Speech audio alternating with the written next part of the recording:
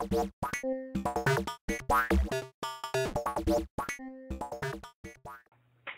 to episode 187 of the Solomonster Sounds Off. I am the Solomonster, and we're not going to waste any time here. I've, I've got not one but two special guests on the special edition of the Sound Off here. A little bit later on, I'll be speaking with the reigning Ring of Honor World Television Champion and former six-time TNA X Division Champion Jay Lethal.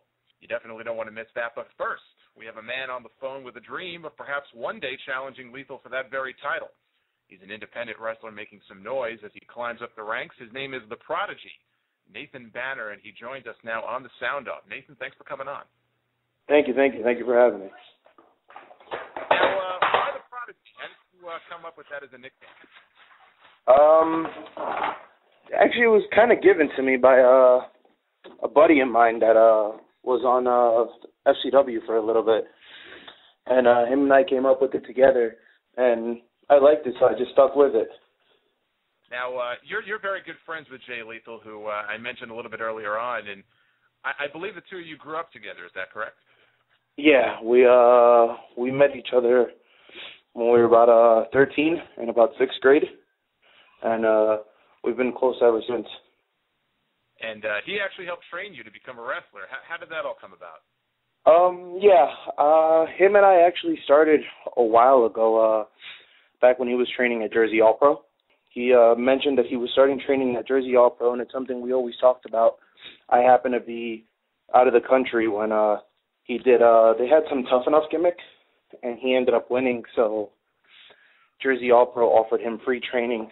So of course he took it, and um, later on that year I started training, and uh, I blew out my knee. So uh, training kind of went south for me for a little bit. Then uh, he went on to continue. I uh, came back a couple years later, started with uh, Gino Caruso, and uh, I didn't really enjoy myself too much there. So uh, he offered to finish up my training in uh, Union City. Uh, a lot of people know it as uh, the Ace Arena, Ace Pro Wrestling. Um, yes, I we finished uh, there. I believe the Ace Arena actually is uh, no more. I think they uh, closed down.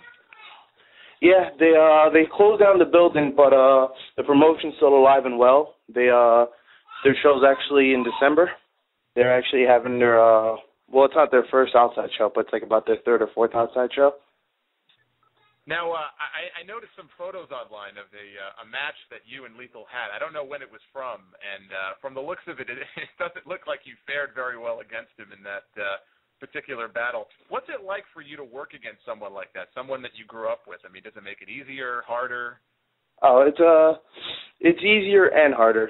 Um easier cuz uh we've done it so many times. We train together. We uh when we were growing up, we used to just always imitate whatever we saw on TV. So it's kind of like a dance, but uh in a way it's harder because he's always pushing me to get better and always just trying to get me to get on his level. So it's challenging, but uh I enjoy every second of it, man. Were you always a big fan of uh, wrestling, even as a kid? Yeah, definitely. Growing up, I uh was a big fan of uh Shawn Michaels, uh Rick Rude, and Ric Flair. I'd say you have a pretty good taste there. Uh, yeah. Now, now you grew up in the Northeast, so I, I was going to say I would imagine you were probably more of a WWF fan than you were a uh, fan of the NWA. Yeah, I uh grew up watching uh WWF. I uh not until I got older did I start watching some old NWA stuff, but uh always been a big fan of the N. Uh, I'm sorry, always been a big fan of the WWE. Now, did you always know that you wanted to try out for wrestling, or or did you have another career for yourself planned and just figured on you know trying it more on the side? I mean, I'm always interested in finding out the mindset of indie wrestlers because I know how hard it is to really break through and find some success. You know, some people have the willpower to make the sacrifices that they need to make, and as you know, a lot of people don't. Uh, I'm just kind of interested in, in what your your path was. Honestly, I uh I've never saw myself doing anything else. Any uh anything else that I've ever done was because it was either my mother wanted me to do it or I just saw my sister like going on to college, so it was just the next thing for me to do, but it's always been about wrestling for me. As a kid, the only thing I would dream about, talk about, wrestling. I didn't want anything else. Now, uh, you actually worked in Japan. You worked as Ernie Ladd Jr. for the Zero One promotion there, which was uh, co-founded by the late Shinya Hashimoto, as uh, well as Afro Man for the Hustle promotion. First, let's talk about Zero One. There have been some pretty prominent stars that have worked for the promotion, guys like CM Punk, Colt Cabana, uh, AJ Styles, Samoa Joe. How did the opportunity come about for you to work there, and who came up with the Ernie Ladd Jr. name for you? Because uh, I, I don't know that I really see the resemblance. So uh, take me through the process. uh, it's actually a really, really funny story. Well, the way it started, um, an indie friend of mine, her name is uh, Sumi Sakai. I uh, I approached her because I've always wanted to work in Japan, and uh, she suggested I contact Nakamura, which uh, runs a promotion now. I uh, sent them a message on Facebook, and um, he asked me to send him some things, and he got back to me not too long after and offered me to do the clinic that they had. They had a they were starting up a clinic, and they ended up choosing about six of us to go over there for about a month, train in their dojo, and uh, we got an opportunity to tour with them and work a couple shows. As far as the whole uh, Ernie Ladd gimmick, that was uh, kind of a funny story. I uh I actually always butcher his name.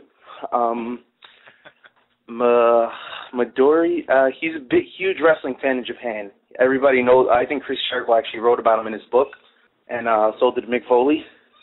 If uh I'd actually probably have to go on my Facebook to actually get his name proper because uh he came up with the idea. He uh he actually came up with uh came down with an Ernie Ladd poster, showed it to Nakamura and uh Tanaka and they both popped and uh Tanaka walked in the dressing room and he said uh he said Anirat, which uh was Ernie Ladd's name in J- in Japan and uh Tanaka telling me that that's my name I uh couldn't say no. Now uh as far as hustle is concerned, you know, from what I gather, uh, there was traditionally less of an emphasis on scientific wrestling and more of an emphasis on over-the-top characters and showmanship. Uh, not not unlike the type of pro wrestling you would see in WWE or TNA or even Chikara. I don't know that it was like that toward the end, but it was early on. Tell me about your experience there and what your role was. Um, actually, um, as soon as uh, I got to Japan, when Nakamura picked me up, he asked me if I'd be interested in working Hustle, and because of the history of Hustle and just an opportunity to work for another promotion in Japan, I immediately said yes. Um, I wasn't too sure what they were going to have me do up until a couple days before when they let us know what we were going to do. As far as working for the company, uh, it was a lot easier working that show than it was any of the zero one shows. It uh, was more entertainment than uh, actual working, and uh, the crowd was completely different. They uh, they popped for just about everything and anything you did, and just the more over the top and the more uh, crazy you got, the more they popped. We got the opportunity to work in uh, Korakuen Hall, so there was no way I can turn that down. Of course, a lot of uh, a lot of history there. Definitely. Now, I've read horror stories from certain people about them living in Japan, training in the dojos, and conversely, I've heard people say that Japan was the best experience of their life. What was your experience like over there, and how long were you there for? I uh I was actually out of all the out of the other five guys in total it was six of us. I was there the shortest. I uh was there about two weeks and a day. I uh had trouble with uh getting the days off through work and uh there was some concern whether I was gonna make the clinic or not, so Nakamura actually offered me to do the second clinic. But uh I wasn't having it. So uh we ended up finally settling on a date and uh the day I got there it was about a 13 and a half hour flight. I immediately went to the dojo.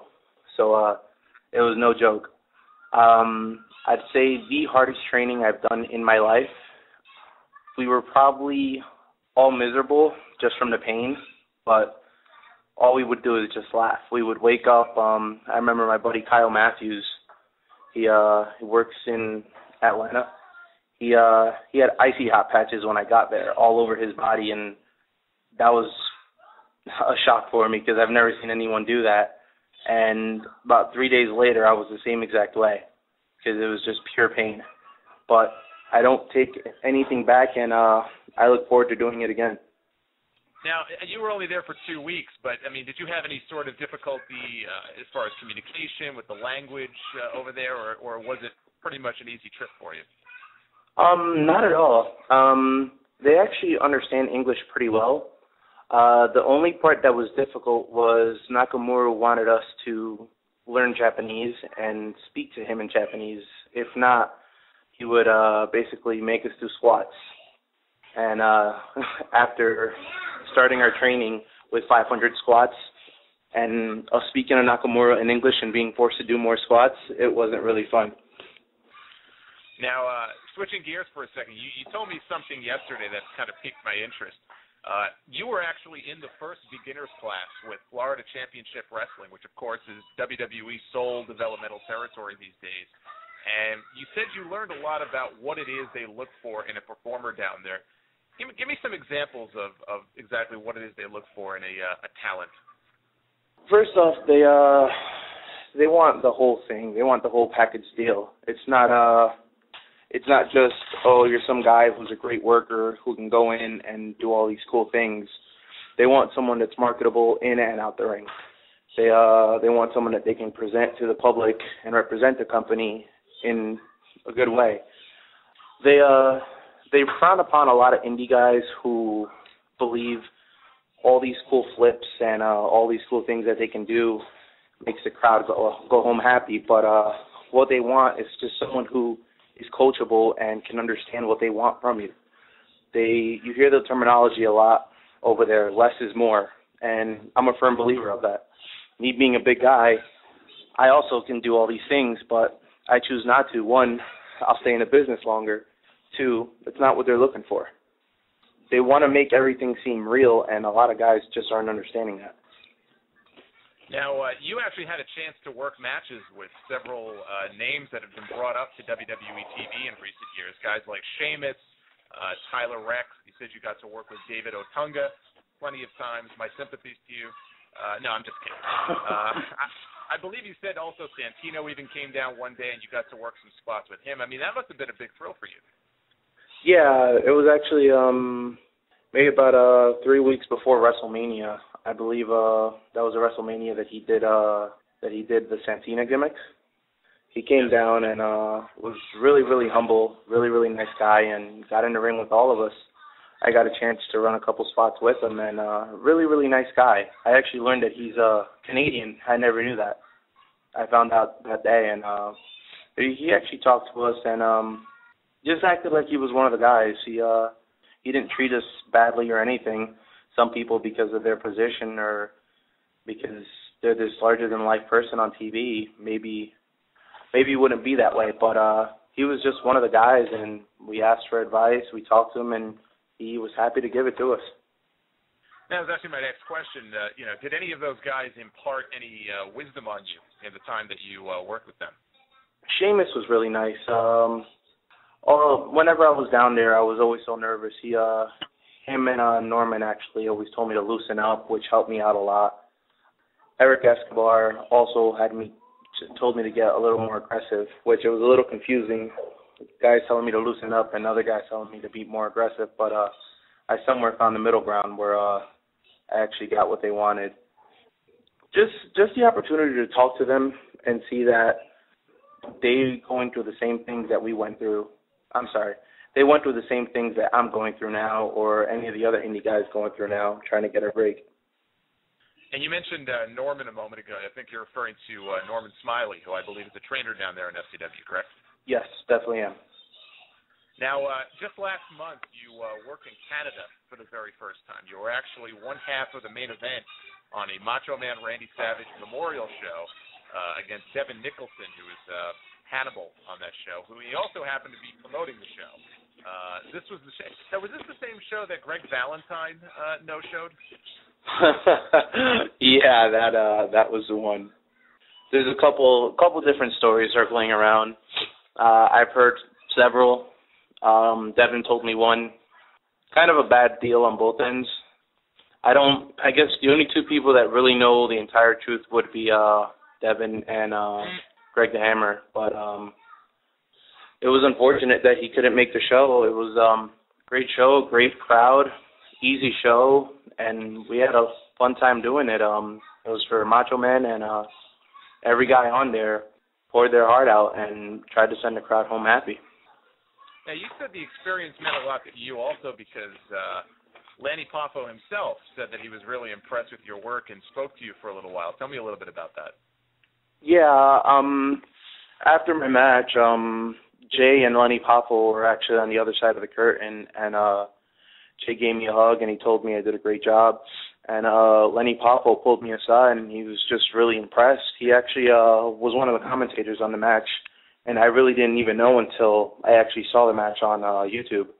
But after that, uh, we had about a half hour conversation in the locker room, and he was just telling me all the things that he went through while he was on the road, and he just gave me advice, and he told me not to give up. He uh, said I'm a big guy and move really, really well, and uh, he hoped nothing but the best for me. Now, now, generally speaking, have you worked more as a babyface or a heel, and uh, and which do you prefer if given the choice? Um, I've actually worked more as a heel. It uh, it's a lot easier for me. I haven't been given the opportunity to work much as a babyface. I'd love the opportunity because uh, I'm sure one day I'm going to need to. God, God willing, I get that break. But uh, I say right now, I like working as a heel. It's and um, just I, yeah. Well, I'm sorry. I was just going to say, you know, you listen. That's okay. You listen to other interviews with other wrestlers, and I think eight or nine times out of ten they say the exact same thing that you said. It's just a lot. It's not only easier, but they say it's a lot more fun. You can be a lot more, uh, you know, creative, I guess, when you're a heel as opposed to a babyface. Yeah, I believe so. You can. Um, I. A lot of guys think that uh that I'm a good heel. Some people say that I should try being a babyface. I feel more comfortable being a heel because I think I could be a little bit more myself. Not that I'm a bad guy or anything, but uh it's just it's just I don't know. I get a I get a joy out of pissing people off. I uh I remember one time I got a old lady pissed off so badly she actually took a swing at me and almost caught my nose. uh but um just touching back to the whole um Ernie Ladd gimmick, um Masanori Hori, I don't know if um I don't know if you know him. He's the one that came up with the whole Ernie Ladd thing. So uh so I I, just- guess he's the one we can uh we can blame for that. Yeah, it was fun though. It was fun. I actually got a press time with uh, some Japanese press because of it. Oh, that's great. I mean, hell, I mean, in, in a way, you know, to be uh, to be kind of uh, associated with the WWE Hall of Famer, it's not a bad deal. Not at all. So tell me, what what, what lies ahead for Nathan Banner? I mean, do you do you still see yourself in the WWE ring one day? I mean, based on your experience in FCW, you, you would seem to already have a leg up on the competition, so to speak. I mean, you're a young guy. I think you're only 26 years old. What does the future hold for you? Um, I'm hoping that WWE is in store for me. Um, that's uh, I keep knocking on the door. I'm just hoping they're gonna open it soon. I'm not getting any younger, so uh, I've been trying for a while. I have last time I was in FCW, I was uh 23. So um, hopefully uh, I can either get a call and uh do another tryout, or I might have to go to Florida again and see if I uh, end up paying for a tryout because uh it's the only thing I want and uh you can't really survive too much on the independents, unfortunately. Now, tell everybody how they can find you. I mean, uh, what what indie promotions are you working for these days? Do you have any dates coming up? Twitter, Facebook, uh, anything like that? Yeah, I um the next show I I'm actually going to be in uh Costa Rica on the 29th, I believe, for a promotion called uh First Wrestling uh Res- First Wrestling Society. Um they're a small company out of Costa Rica. They're actually one of two promotions in Costa Rica and uh I have uh, actually I'm waiting for a date from uh Jersey Wrestling Elite. It's uh one of the sister promotions of Ace and uh just anyone who uh who contacts me Facebook or uh or Twitter. I actually just started using my Twitter. Uh I believe I'm uh under the Prodigy Nathan Banner. I actually just uh requested you on Twitter so uh they can follow me through you. But uh I'm still learning how to use it. I'm not too uh techni- technology savvy with Twitter. Everything else I can manage.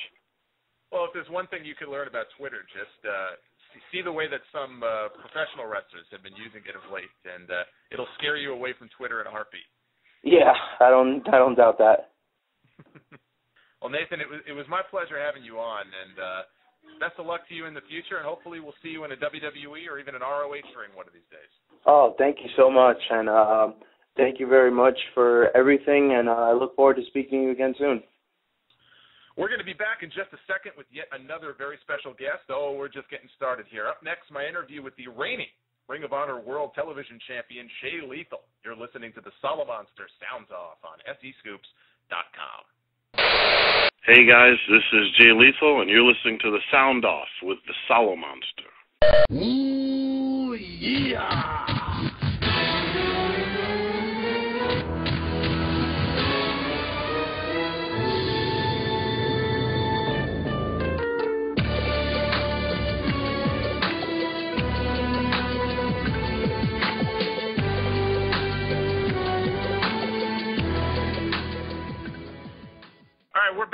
Uh, right now we have a very special guest joining us. Uh, on a recent episode of Ring of Honor TV, Kevin Kelly referred to him as the hottest young free agent in wrestling. He spent more than five years with TNA Wrestling, capturing a record number of X Division titles and working with legends like Kurt Angle and Ric Flair. He's since returned to his old stomping grounds of ROH, recently defeating El Generico to become the Ring of Honor World Television Champion, making him the first active champion to appear on this podcast. Jay Lethal joins us on the line right now. Jay, welcome to the Sound Off. Thanks for having me. How's it going? Not too bad, not too bad. I uh well, I just good, interviewed good. a good friend of yours, the uh the prodigy, Nathan Banner, who you also ah, trained. And uh I did, I did. Yeah, He's making uh, quite a name for himself now. Yes, he is. And uh he was he was talking some smack about you. So uh I'm just kidding. Uh, it, it's it's uh, well, if if he was, it's uh, he's he's harmless well, to me anyway. Uh, we, we've actually gone to high school. I've known him my whole life, so I mean, uh, to me anyway, his bark is worse than his bite.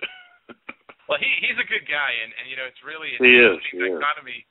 In, in that, you know, we have two friends. One of whom is is trying to make a name for himself. He's working his way up the ladder, and in your case, you've already attained quite a bit of success in wrestling. Uh, you know, case in point, let's talk about your return to Ring of Honor. Uh, you spent some time there in the early days of the promotion. Now you're back. ROH is back on television. Uh, it was, I believe, the second episode, and you were featured in the main event, challenging El Generico for his TV title in uh, one hell of a fun match, by the way. And uh, oh, and thank won. Thank you. First, I mean, what did you think of the match first? And second, how does it make you feel to come back after all these years and instantly become an impact player there? Well, I, I mean, uh, my match against El Generico, where I beat him for the television title. I mean, that that match was I felt awesome. Uh, I loved every second of it. Uh, till up until that time, it was one of the longest matches that I've ever had because, uh, of course, working for TNA, uh, guys who were on the same level as I was weren't given too much time to have a match. So I mean, the most I've ever had to wrestle was probably six, seven, eight minutes. The match with El Generico actually went about almost 20 minutes. So uh, I felt it was it was awesome. I love working El Generico. I've worked him plenty of times before, and every time we step into the ring together, it's always excuse me, it's always uh, a great match. He's a really fun guy to work with, and he's got a cool gimmick. Uh, you know, he's El Generico. He's the the Spanish luchador. Oddly enough, he barely speaks Spanish, which is pretty funny. But yeah, it was uh, cool to be back in Ring of Honor, especially since I hadn't been there in over six years. The last time I was there, there was different guys there, like uh, Samoa Joe was on top, and Austin Aries was just making a name for himself there. So it's it was kind of cool to come back and see the different faces. Although the product itself is still the same, they still pride themselves on being all about wrestling, which I think they do like no other company has. And and like you said, I mean, the company it's it's gone through quite a few changes since you uh, departed there in 2006. Obviously, Gabe Sapolsky is no longer uh, there. A lot of the original stars have been replaced by newer faces. I mean, I know you haven't been back for too long, but how how different has the experience been for you being back there so far? Well, it hasn't been different at all. I mean, I would say the only thing that has changed uh, are the new faces that have been added and uh, some of the older faces that have been taken away. Like I said, they, I, I am one of the strongest. Uh, I'm sorry, I actually believe strongly that uh, Ring of Honor has always had an excellent wrestling product. It's just their only problem was they they were having trouble getting this product to the masses. And uh, one of the changes uh, to Ring of Honor is the Sinclair Broadcasting Group has now bought them out. Which, I mean, being a part of the company, you don't really notice the change uh, because it's it's more of a behind the scenes kind of change. and like I said, Ring of Honor's always had the best wrestling product they just had to get it out to the masses, and now they actually have that chance to, uh, being backed by Sinclair Broadcasting Group. I'll give you a cool analogy, though. It's almost as if uh, you have a Mustang. Let's say you have a, a brand new Mustang. You use your car every single day for, let's say, five years straight. Then all of a sudden you got to take a little trip and you got to move away, but you got to leave your Mustang at home uh, you're gone away from the house for six years. While you're away, uh, let's say somebody in your family, let's say your dad puts a brand new engine in the Mustang. So when you come back, it's still the same Mustang. It just has a brand new engine, and that brand new engine in Ring of Honor would be the Sinclair Broadcasting Group, but it's still the Mustang. It's still Ring of Honor. It's still got that great same product. And uh, actually, news just broke in the last couple of days that uh, you and Generico are going to face off one more time at the uh, next set of TV tapings coming up, I believe, on November 5th in Louisville. What do you think about that? Yeah, I actually can't wait for that. Actually, like I said, every time I step into the ring with El Generico, I love every single match I've ever had with him, and I'm sure this one will be no different. Now, uh, you got your start in the business at a pretty young age. I, I believe you were only 16, and uh, Actually, Nathan had mentioned that you had won a contest held by uh, Jersey All Pro Wrestling, which earned you uh, six months of free training at their school, which I believe has since shut down. You know, one of the things I wanted to ask you about about Jersey All Pro, uh, which I was only mildly familiar with, and you look at the match results during your time there, and there were a couple of instances where your parents were actually uh, involved in, in certain angles and certain matches. Yeah, yeah. Actually, uh, before I get to that, to touch on something you said, Jersey All Pro Wrestling, uh, they did have a contest very similar to the WWE Tough Enough at the time, uh, their contest there, where the winner would be trained for free. So I, I was actually the winner of the Jersey All Pro Wrestling contest. And it wasn't a contest where the winner gets trained for six months. It was supposed to be the winner gets trained for a lifetime or however long it takes for them to become a professional wrestler. But uh, within six months of training, uh, the other students stopped going, and uh, the school closed down, so I had nowhere to go. Uh, luckily, two of my buddies were being trained at the time by Mikey Whipwreck, so I was able to jump into the class with them. That's where I finished up my training. So, uh, I mean, it just made it. When you said it, it made it sound like uh, I won a six month course to be a professional wrestler. I actually won a lifetime course to be a wrestler, but their their school closed down is what happened. And uh to also tell you mentioned uh yeah, sometimes my parents would be involved in angles only because they were at every single show. Uh especially when I came out, they were the loudest in the crowd. They were at every single show so much that uh the fans started to uh recognize who they were. They started to be uh, very familiar to most of the fans. Uh, like after the shows, not only were the fans asking for my autograph, but they would say hello to my parents. Uh, they were, and my parents were very, very friendly. So of course, uh, certain guys would try and use that to get what we call heat, I guess, in the business. Uh, sometimes it worked, and sometimes it didn't. Uh, if I had my way, I wouldn't have involved them at all, even though they did have some fun doing it. I, I just didn't really, I never really liked it. But yeah, some guys did try and use my parents in some of the angles and such. They they loved it. They got a huge kick out of it every single time. The only the the now funny I, part about that was uh in a company called JCW we tried it, and uh my mother was actually involved in a segment where I got beat down in the ring, and uh one of the guys came out and kind of like threatened her, and she was on the ground.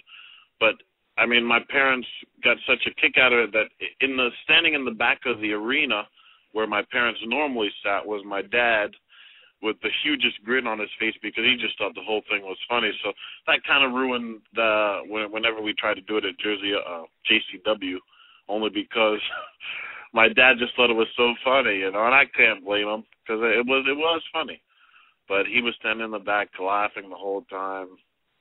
Uh, I think they caught him laughing once or twice on camera too.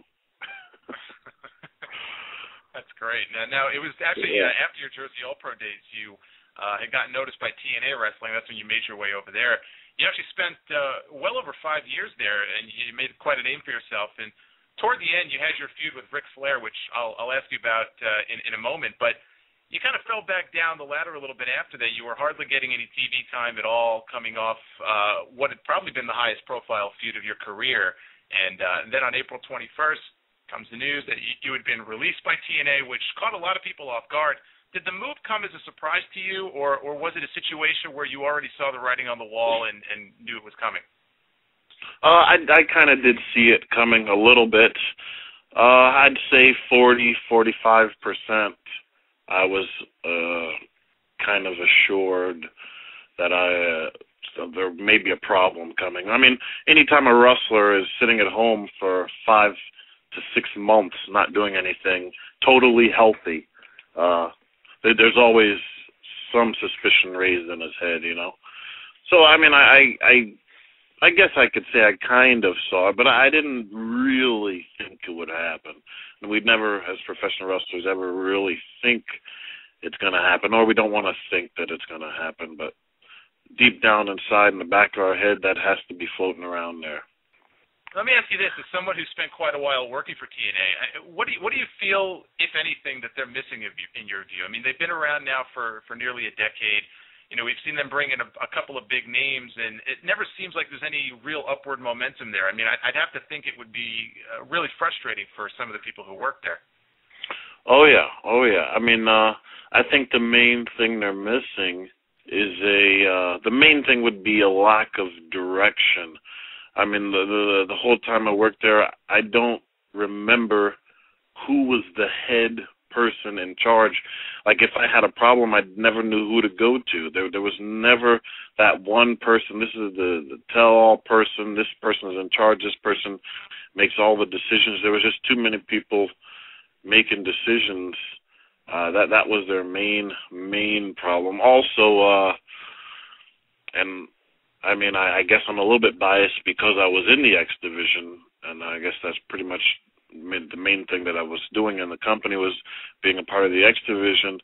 But uh, the X division never really, we never really had too many storylines. I was a lucky one because I got uh, a pretty funny character that lasted a lot longer than anybody thought it would last. But as far as the X division goes in general, not uh, not uh, singling myself out, but the X division was never nobody in the X division was ever given like a solid storyline to run off of. And uh, I, I made this comparison a couple times. Uh, watching in TNA, watching match one, I'd say one to four, which mainly most of the time was the X division, uh, was like watching an episode of Seinfeld.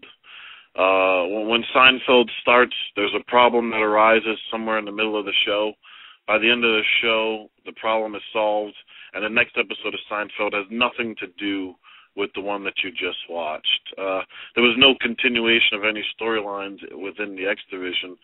Uh, that would be problem two, and I could go on and on, but those are the two main problems that I would say uh, that the company is facing now. Although, I mean, I I guess I could be wrong. I think uh, they did one of the highest numbers that they've ever done before on uh, their last TV. Now, now since you brought the X Division, well, what do I know? You held you held the X Division championship. Uh, I think a record-setting six times. I think uh, you and AJ Styles are tied for that. And uh, a couple of months after your release, TNA had its Destination X pay-per-view, which a lot of people I think were hoping would lead to uh, some something of a resurrection for for that division. They brought in some people from the heyday of the division, some independent talents. Did TNA ever reach out to you about participating in that show? Uh, they did. They did reach out to me, but due to uh, uh, prior engagements, as you would say, uh, I, I could not be a part of the actual pay per view. And, and in a way, in a way, I'm glad that I wasn't because I saw a lot of things leading up to the pay per view and on the pay per view that I, I just rubbed me the wrong way. I really didn't like it. Uh, one of the things, for instance, was uh, the, the, just how they the whole build up to Destination X. Normally, when uh, TNA has a pay per view coming up, let's say it's let's just say, for instance, this Sunday, uh, TNA has a pay per view called Hardcore Justice. Let's just say that that's this Sunday. On Thursday, there should be a lot of things happening on Thursday that directly affect matches that are going to happen on Sunday's pay per view. That's what happens in wrestling. That's normally how you do things. As a matter of fact, I would go so far as to say a perfect thing to do would be the last thing you see at that Thursday's TV leading into the pay per view would possibly be something involving whatever is the biggest feud for your Sunday's pay per view, let's say your main event. Something should happen to increase the storyline, to enhance the storyline, to make people really want to buy that pay per view on Sunday. Well, that's not what TNA did. Uh, the Thursday before Destination X, you would think that since it's Destination X, it's a big X Division pay per view. Uh, you would think that the last thing you would see on Thursday would have something to do with the X Division title, or at least one of the matches on that Destination X pay per view. Uh, this wasn't the case. The last thing you see and hear on that Thursday's television leading into that Sunday's pay per view, this Destination X Big X Division pay per view, was about the uh, Bound for Glory series tournament that they were having. It, I I couldn't believe what I was watching and hearing. There, there was no hype. There was no build to anything. I mean, I felt embarrassed and sorry for my friends who had to be a part of that pay per view. I mean, because I mean, it was an all it was an all X-Division pay per view, and I mean, in wrestling, there's always cliques. There's always group of people who hang out with certain groups, and of course, I hung out with every single one of the X Division, mostly the machine guns, guys like Sanjay Dutt when he was there, and uh, like we all went out to eat afterwards. So of course, these are my personal friends, and I have to watch them be a part of something that's supposed to be the the, the heart and soul of TNA, the X Division. This is what really brought them into the light of in the people's eyes, and just to see the way they went about the whole pay per view, just I just didn't like it at all. I mean, it almost makes you wonder why even do the pay per view in the first place if uh, if you weren't going to put the focus on it. Right, right, right. I just didn't get it. Now I want to talk uh, just briefly about the uh, Black Machismo character. As a, uh, a Randy Savage fan, it was a personal favorite of mine. Um, it was, I, as I remember, it was Kevin Nash on TV who kind of inspired you to uh, start the gimmick. I, I guess others had seen you do your Savage impersonation behind the scenes and, and thought it was funny. I, I take it you were a big Macho Man fan growing up. Oh, huge! He was my idol. I think it was TNA once on television. I could be wrong about this. They claimed that you had actually spoken with Savage on the phone. Is that is that uh, accurate? That is correct. That is correct. Uh, shortly after uh, uh, the gimmick had taken its course, I was actually able to, uh, on the indie scene, have a match with Lanny Poffo, the Macho Man's brother. It was sort of like uh, I was pretending to be the Macho Man, and he was Lanny Poffo, the Macho Man's brother, and we had a brothers from another mother singles match, which was pretty cool. Uh, about a week or two before I had that match, I actually spoke on the phone with uh, someone who sounded like the Macho Man, who I thought was the Macho Man and uh, they pretty much gave me their blessing for the doing the gimmick, and they thought it was pretty cool. But you never can be too sure because I'm sure I'm not the only one who can do the Macho Man voice. So uh after I worked after I wrestled Lanny Poffo, he told me he would go home and find out for me, took my number down. And the very next day he gave me a call and he told me that he talked to Randy and he said that uh it was really him. The weird thing about the uh Macho Man character though uh, Kevin Nash was the main person who thought I should do it on television. Uh, he was a good friend of the Macho Man's. Uh, I was an idol of the Macho Man, and I didn't want to do this gimmick if it somehow made fun of the Macho Man or anything like that. Uh, but I do feel that uh, it was booked in a way only because I I, uh, I would do the Macho Man voice in the locker room sometimes. So of course the office got wind of it. They heard it, and it's just a big joke to them. They heard it. They thought it was funny. It was funny to a lot of people. So the the, the role was never booked to be anything serious. It was never booked to go as long as it did. It was never not much faith was put into the character at all. But uh, luckily, I was able to turn that around, and it lasted pretty long. And uh, I don't think it came out too much like a uh, like a big joke. Hopefully, hopefully no. not. No, no, no, not at all. Not at all. By the way, I, I watched that ringside collectibles video that you did uh, up on YouTube with the new uh, Macho King action figure, which I I believe you also put on your website. And I cannot even really do this video justice. People just need to go see it for themselves. It's uh, quite a sight to behold. Oh, cool, cool. It's actually up on my website right now, which is uh, www.thelethal.j.com. Now, uh, eventually, actually, before I get to what, this, I just want to ask you this question. Uh, Hulk Hogan and Eric Bischoff, they came to TNA. Around that same time, you started doing that open invitational on Impact, where you would challenge different legends to a match. You brought Jim the Anvil Neidhart in one week. He beat you and then disappeared from TV. I think Tatanka came in, beat you, never was seen again. I guess my, my question would be, what was the point of that whole thing? It seemed as though it might be leading to somebody like Randy Savage maybe appearing at the end. I don't know if that was the end game that was planned at any point, but it just seemed like you lost a couple of matches and then you disappeared off TV for a couple of months.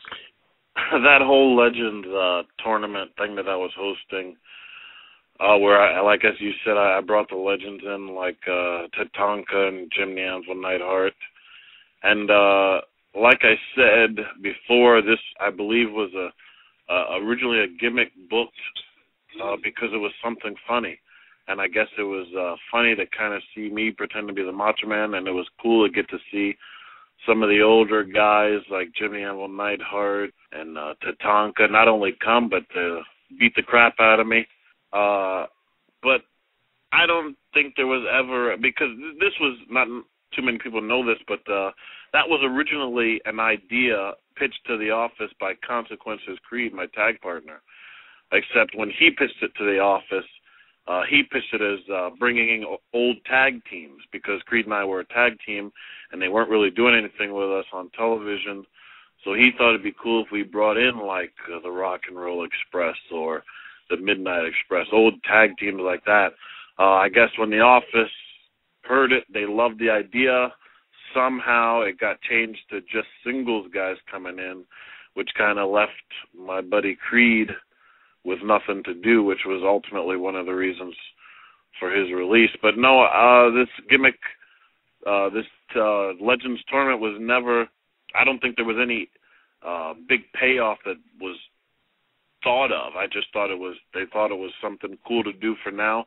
And when Hogan and Bischoff came in, uh, much like every single storyline in TNA, it, it's almost like they came in and if you turn if you write down every single storyline that was going on in TNA on a piece of paper and lay it on the table, uh, Eric Bischoff and Hogan came in and just flipped the table upside down and brought in the new table and we pretty much started from scratch. So everybody who was in the middle of a storyline, mainly Abyss, which off the top of my head, he was, a, I mean, in a blood feud that just once Hogan and Bischoff came in, just just ended out of nowhere. There was no blow off to anything. It was, and I mean, I'm not saying that I'm upset about this or that it was wrong or the right thing to do. It just it was weird to me that nothing was finished, everything was left. Well, we're just going to leave it and start all over. So uh, that that Legends uh, tournament that I was having just just ended. And I mean, I guess it was good because, like I said, I don't think they had a big blow off or it wasn't leading to anything big. It was just, uh, what legend can we get this week to come in? Now, uh, eventually, you were back on TV and you actually got to work with the uh, Nature Boy Ric Flair. You actually got to wrestle him twice, and uh, the first time it was on pay per view, and you beat him with his own uh, figure four leg lock.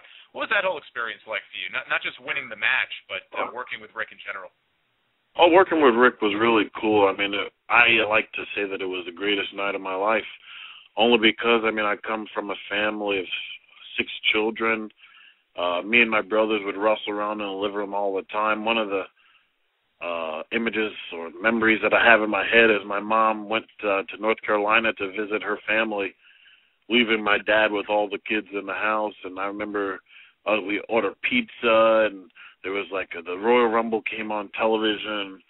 Ric Flair was in it, and oh, I just remember having the greatest time in my living room with my brothers watching wrestling, and it was so cool that uh the, my older brothers were such big Ric Flair fans, just like I was, and I, I can't remember how many times we put each other in the figure fours, and now we can fast forward, and now they're they're little brothers in the ring with Ric Flair, somebody that we watched all the time growing up.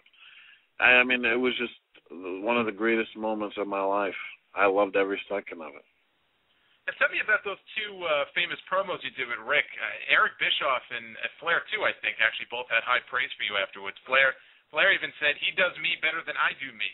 And uh, I remember the uh, the second promo actually was probably the most entertaining verbal battle I've ever seen. And the great thing about it was it seemed like he actually had a hard time keeping up with you, not the other way around. how much of that? How much of you?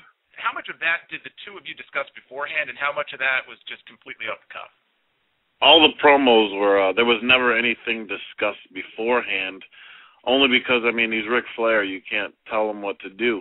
And you know the the funny part is whenever you see anybody with a microphone any wrestler walk to the ring any wrestler in general with a microphone in his hand nine times out of ten they already have bullet points in their head. They already know what they want to talk about know what they're going to say nine times out of ten.